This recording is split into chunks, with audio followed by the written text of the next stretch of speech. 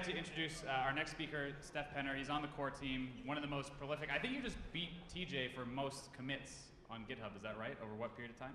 Um, yeah, most. Uh, be- I beat TJ on number of events on GitHub, Okay, that's insane. which, Most prolific.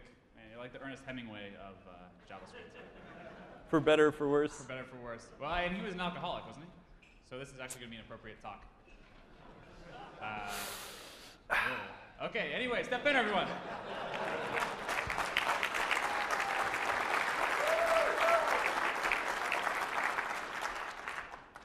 So I'm, I'm Stef, and I'm, I'm an addict.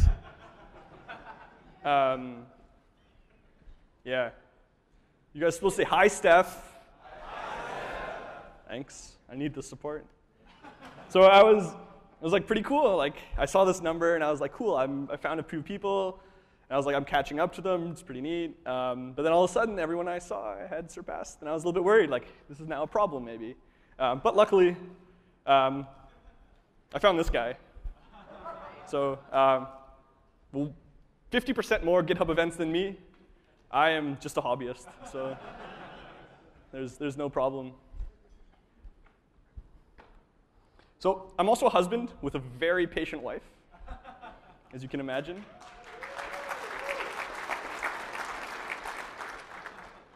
We're crazy bird people. So for those of you that have remote paired with me, once in a while, one of my birds will join the pairing session. And uh, we're much more productive then, I think. Also, I work at Yapp.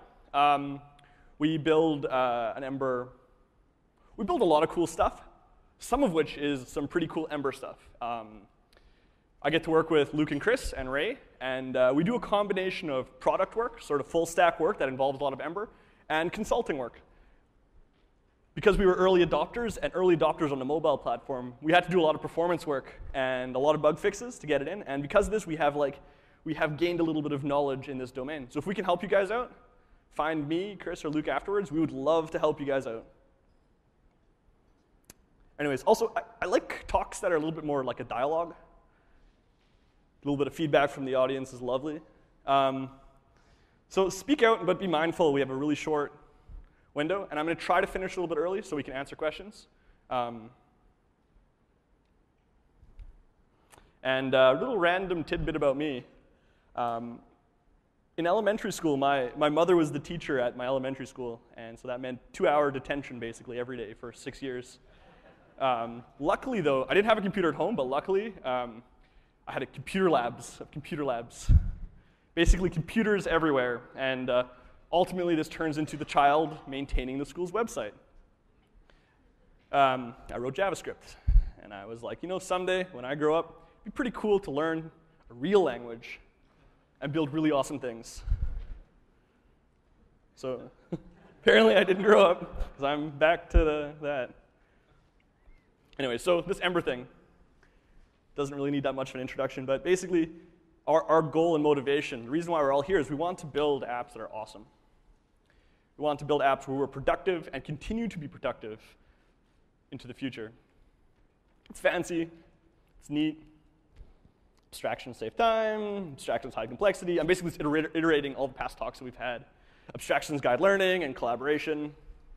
Abstractions enable cost sharing. I really like this one. This is my favorite one. We can basically load balance the cost of some of these hard things onto an entire community rather than every single company doing the same thing, spending the same resources.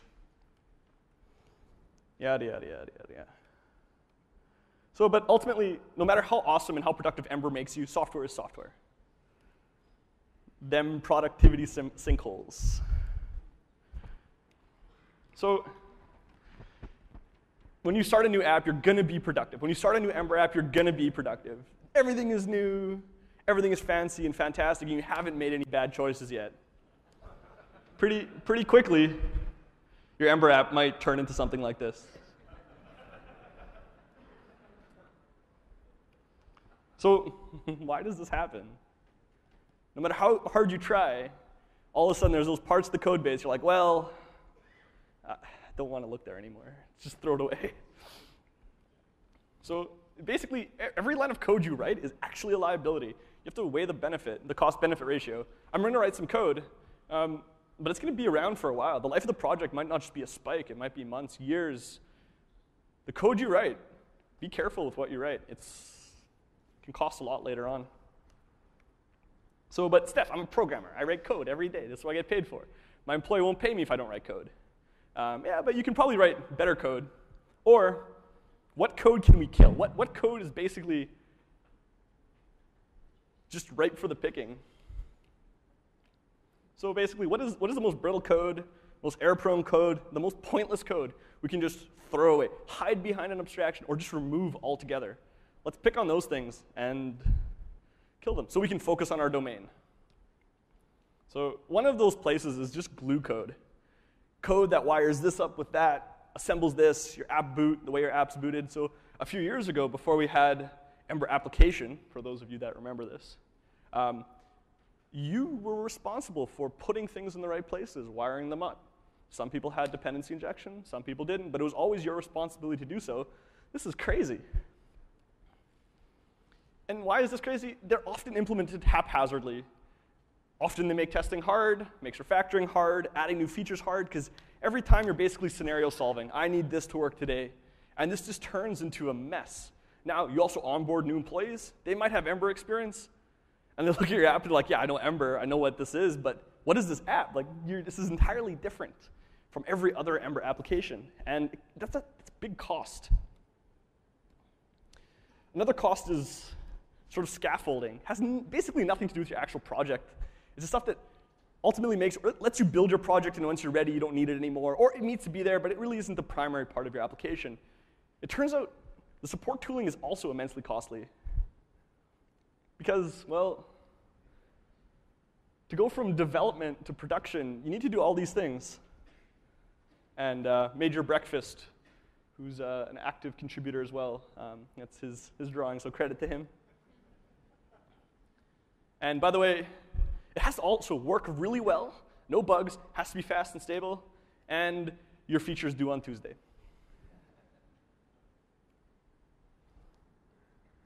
So it turns out these two problems, they're like, they're actually very related. We can probably solve one with the other, or together, solving both of them, we're just going to solve the opposite problem, or the complementing problem. So one of the first problems is just like general coupling. Obviously in Ember, our solution to this is inversion of control. We have a container, we have a dependency injection framework that most of the time you don't even have to think about. It just kind of works. And when you do need to sort of peel away, it's there, and it's very powerful. The two main parts of this are the container and the resolver. The container basically abstracts the coupling, and the resolver finds code for your container to use. I just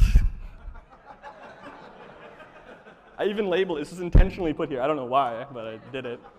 Um, another problem, it's, it's globals. To, to, to have coupling in your application that merely depends on the order that you load code is totally crazy, right? Now, you have a namespace, your namespace has a namespace, and like you're trying to organize your code, and all of a sudden, you can only start up your app in a very specific order, otherwise stuff's gonna break.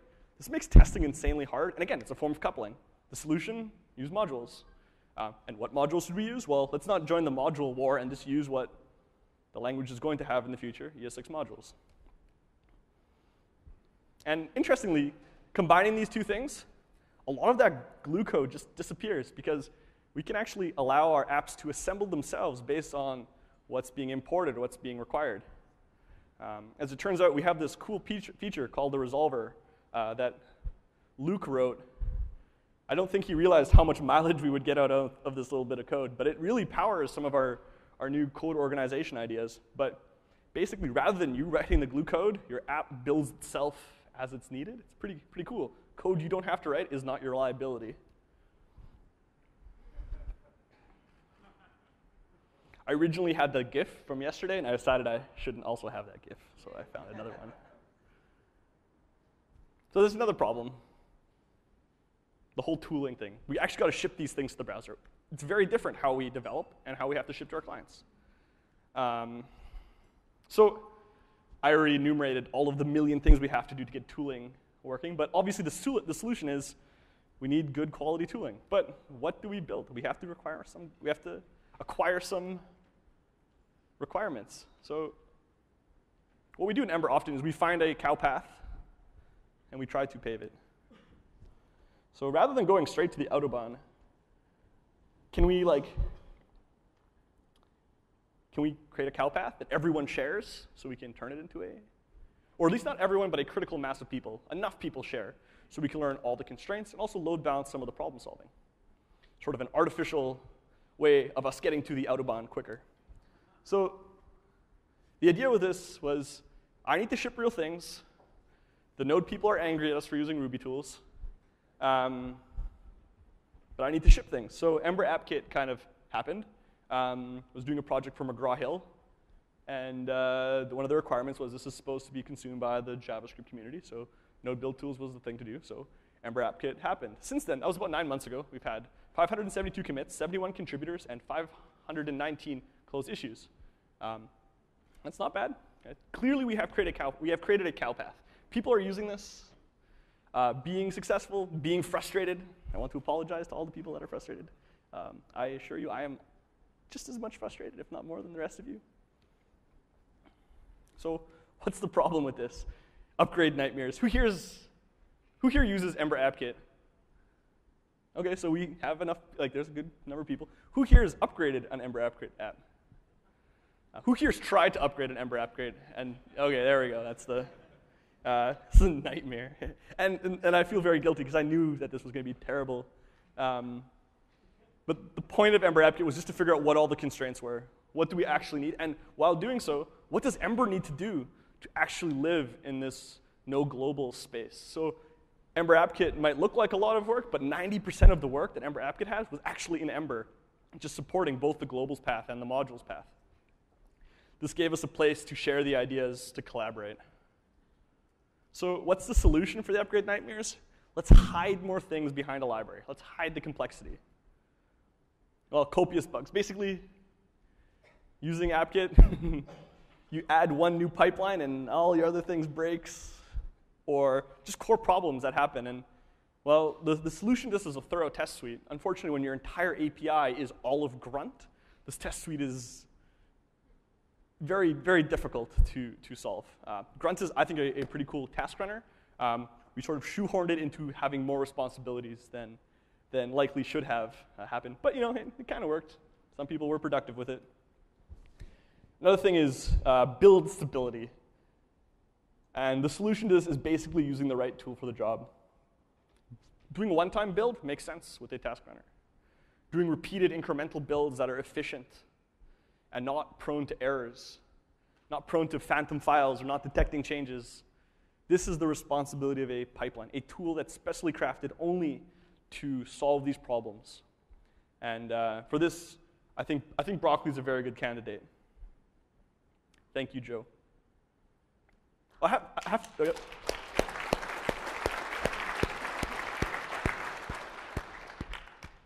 So Joe, Joe's done some awesome work on Broccoli, and uh, I remember in November I was playing with it, early version of Broccoli, and she's like, "Try to break it." So I was like, "I can totally break it. I have like five or six steps that I, five or six different scenarios I know totally screw uh, with most build systems. Even some uh, a rake pipeline has problems with them, and I threw all of them at it, and there was not a single problem.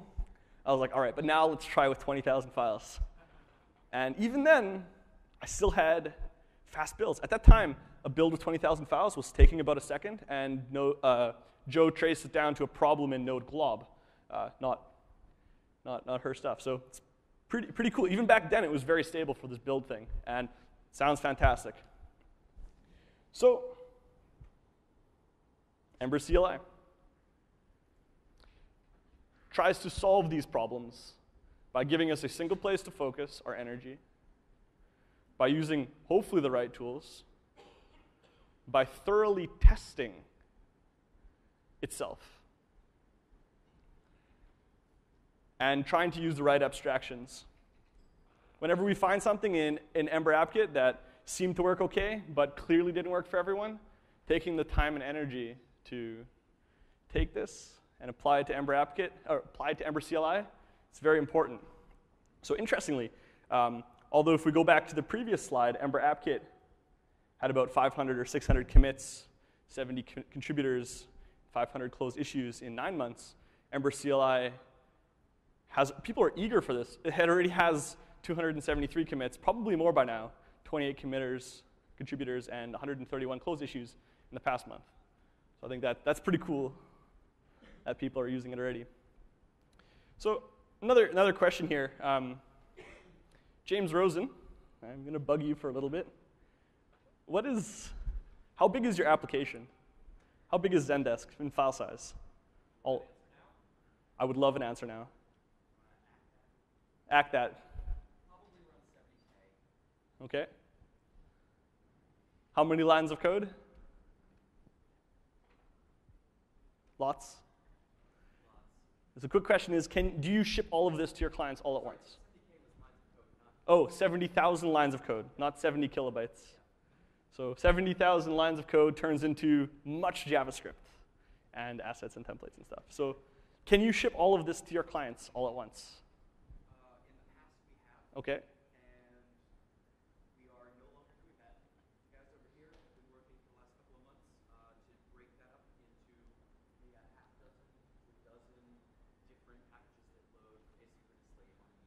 Yeah, so to summarize, because um, I'm assuming his voice might not be caught up on mic, um, Zendesk is 70,000 lines of code. Um, that is many, many hundreds, if not thousands, of kilobytes. And it is not practical for them to ship their entire app to their users every time. So he has a group of people working on splitting this app into multiple bundles, shipping these bundles. Well, who, who else here has a similar problem where they can't actually ship their entire app all at once? One hand? Okay, there we go. There's a few more hands. This is actually a problem. And if you don't have that problem today, you're going to have that problem probably pretty soon. Or you're going to want to solve it, and then you think about all of the constraints. You're like, ah, I'm just not going to bother because I just really, my business can't afford me to spend a week, a month refactoring my code, building the right tooling in order to ship these things lazily. I know Yahoo has similar, similar constraints for some of their projects they want to take. And uh, well, wouldn't it be cool if we could kind of focus in one place to come up with a convention to make this not only simple to do, but to just make this work by default, work by convention, right? If, if, if you had this as just a thing that just worked, kind of like how URLs just work in the browser, you could lazy load your slash admin section. Who here wouldn't do that if they, well, either you're putting up your hands or not putting up your hands because you're not going to anyways. You wouldn't do that? You would do that? Okay, perfect. Um, so I, I gave a very bad question. Um, I think it's obvious. If these things were free, if these things were supported and worked well, and there was a happy path to doing it, more people would definitely do it. I know I would use it a lot. So if you guys want to try it out, you have internet today. Um, if you npm-g install ember-cli, and then wait for npm to download on our um, wait for all the dependencies to download on our conference Wi-Fi, you will eventually be prompted with something like this. So you have an Ember command line utility, inspired a lot by the project Ryan Florence worked on, Ember Tools. Ember Help gives you sort of the basic primitives of what you will likely need to build an Ember application. New scaffold's a very basic application for you to use. You jump in, and hopefully you can be productive right away. So Edward Faulkner did his uh, this talk with it, and he seemed, seemed to be happy, so that's a, that's a very good sign. Um, it was greenfield euphoria. So it's very important for us to make sure we can continue to pull that greenfield euphoria with us for as long as we possibly can before we end up ultimately ending up with legacy software of some kind. An interesting thing that we want to do here, and I would love to sort of get a show of hands as well, is we want an easy way for you to upgrade to Ember when we push releases. So we've been working very hard as the core team and the community on making sure that we, we don't break changes. We try very hard not to have any breaking changes. So one sort of experimental feature we want to add to the Ember CLI is just your ability to subscribe to the branch or the, the channel of Ember that you're most comfortable with. So for example, if you're more comfortable with stable releases, you can subscribe to stable releases. And if you happen to start up Ember CLI that day and we push a new release, it'll ask you, hey, yes or no? Do you want to try to upgrade today? Yes, and, and if our Semver stuff is all working, your upgrade followed by running your test suite should give you some confidence. And if there's a problem, report the problem, roll back, and hope that was five minutes of your morning.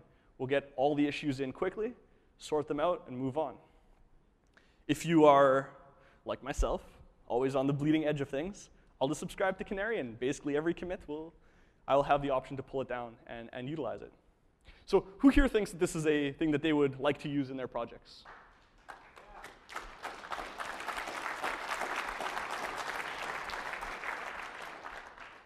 That's awesome. Um, so, so, some crazier ideas that have been cropping up is um, what if Bower and Yeoman have a really cool library that they use called Insight, which actually lets us track analytics, usage patterns inside of command line utilities. So as an experimental thing, we've added this to the Ember CLI. Now, obviously, some people work in places where this is not an option. So the first time you use the CLI project, it prompts you, hey, would you like to submit anonymous information to help us understand your usage patterns? Um, so this is in there today. Um, can I get, I want to feel for like, who thinks this is a good idea? Who feels comfortable with this? And who uh, would feel comfortable with this if their employer felt comfortable with this? Awesome. Uh, another step onto that is um, I would love to add, I would love to treat Ember CLI like an actual project that I deploy, which means bug tracking. So if, if Ember CLI crashes, the core team wants to see a bug report of this. I'm assuming this goes along the same lines. You guys would be fine with this? People nodded. Awesome. Um, that's, that's awesome. I was really hoping that that would be the case because this lets us catch problems quickly, and maybe even before you report your bug, we might already know it happened, and we'll be like eagerly waiting for your issue to be submitted. Um, awesome. That, that's pretty cool. So, a call to action. Um, Ember CLI is working for some people already. There's some pretty important features that we're still lacking. Uh, we added test support uh, early this morning. I'm not quite sure if we merged it in due to internet issues, but now we can run tests and stuff. This is very important for production applications. Uh, we're still missing a good fingerprinting strategy, but uh, that's hopefully going to be coming shortly. Um, but I would really encourage people to try it out, find bugs, anything that sucks, report it as a bug. If there's formatting that's screwed up, report it as a bug. If there's something that's confusing, report it as a bug because we want to pave these roads so that it's good for you guys and good for when you onboard new team members. Or if you're in an organization where you're fighting the Ember fight, please use Ember in the organization. Um, the better and cleaner this path can be, uh, the better, the easier it is for your arguments. Uh, I would also like to thank, so apparently all of the Ember CLI contributors are called Joe, um, or, or broccoli people. So as it turns out, um, maybe not all of them, but a good number of them. So Jo Liss works on broccoli. Uh, Joe Fiorini has been like amazing helping out with the Ember CLI project. It probably wouldn't be useful today if it wasn't for him. And it turns out Major Breakfast's actual name is Joseph. so once I realized that, I was like, so apparently Joes are good to work with. So if your name is Joe, you absolutely have to join because then we can just like, we can make a leaderboard of the number of Joe, Joes that are helping out. Uh, but even if your name isn't Joe, I would maybe more reluctantly accept some help. Um, best ways to help, like I said, install it, try your hardest to break it, look at the issues, see if there's an issue that's uh, related, add your story to it. Uh, and if you have some spare time, find an issue and see if you can improve it. I know Ed talked to me about uh, a layered build deployment approach. I think that's awesome. It's a fantastic idea. Works well, I think, with being able to deploy different segments of your application. Hopefully, we can you know, continue to iterate upon it. So, if you can, give this a try, and hopefully, hopefully it works. And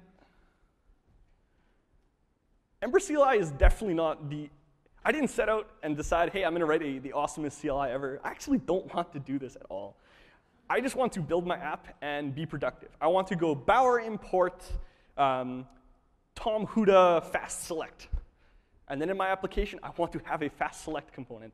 I don't want to think about the wiring. I don't want to write code that is a liability to me. I also want us to share our components in a way that's easily digestible and easy to consume across different projects, across different teams. Why? Because there's a room of like 430 people who are smarter than me here who can like build cool shit and we can share it. This is, this is the point of the CLI, is to not have to think about the CLI ever again. So for the future, I think Rails did something really neat later on in its life cycle. The first plugin story for Rails was kind of SVN checkout into a vendor file, and it got them a long way. Um, I kind of feel like that's what we're at right now. We can SVN checkout, we can Bower install to your vendor, your Bower components folder. But wouldn't it be cool if you installed Bower install Ember auth and it added generators to the CLI, it added extra routes to your router, added um, some test helpers, and then also added code that you can use in your application and assets and CSS. Well, I think this is possible. It's going to take a lot of work just to iron out all of the various creases and stuff, but I think, I think we can do it. And once we have that, hopefully we can just start sharing these components and these utilities and these add-ons and again, focus on our own app development rather than doing all this code that is actually just a liability to us. Uh, something I mentioned earlier was lazy loading of app segments. This is, I think this is actually very important for web applications. Uh, absolutely something we want to work on. And uh, very important aspect of lazy loading that people don't think about is we have to be able to lazy link. You have to be able to link into things that don't actually exist yet. Something that we need to fix in Ember first before we can really use it here. But me and Alex sat down and figured out that there's no really big hurdles. We just got to put in some time and effort to make it work. Also, finally, I, I want to start using cool ES6 features in my apps today. So we can use modules today. We can use arrow functions today. I want to start using generators today. For those that don't know what a generator, what it will basically it'll help you. Uh, one of the features of generators is it will help you hide asynchrony from your application, which is quite nice. Asynchrony in state is always hard to deal with. If we can hide it even more, that's fantastic. There's a whole bunch of other cool ES6 features that we want to use as soon as the transpilers and stuff are ready. Well, it'd be great if we could just add this to the same CLI so everyone can start utilizing these cool features. Anyways, so uh, hopefully that provides some context as to how we ended up with what we have today, and hopefully paves the road for what's next. Can I answer some questions? What happens to the Ember App Kit? So the Ember App Kit everything that's in your app directory basically ports instantly. It just works. Things that don't work today that will likely work with a little bit of massaging is the index file. Oh, sorry. The question was, what happens with Ember AppKit? Um, lots of those conventions, but how your app assembles itself, uh, everything in app and everything in test, that should just continue to work, period. Unfortunately, stuff in your grunt tasks, custom configurations, those might be more difficult to port, but hopefully, as people share some of their concerns or share some of their issues, we can either have feature parity for some of those things or provide the correct upgrade path. Some of the features just aren't needed in Ember CLI anymore, and other ones are definitely still needed. Answer your question? Awesome. Any other questions? Uh, so the, the question is, do you have a preferred way to integrate with your server code? Um, I think there are, there are multiple approaches to this, but the easiest approach one that I find works probably the best is to keep your projects a little bit separate and have a proxy either on your server side or on your client side via the app kit or via the CLI that proxies those requests to your backend. Lots of people have their, their backend actually as an installed, as a deployed thing. Some people run it locally. I think this works fantastic. Um, so the question was, I believe, correct me if I'm wrong, the question was, what about globals? Most people here probably have applications that use globals. Um, so we were very careful when making all the upgrades to Ember to support non-globals to also support globals. Um, so Ember itself will continue to support globals just fine.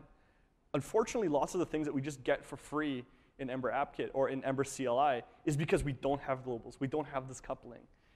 I don't know if there's a good path for people other than to make a, a transition. Now, one thing that has worked, and we've helped a few clients upgrade this way, as well as our own code, is using the resolver. Remember, the resolver is the abstraction between the container, which needs code, and where it finds the code.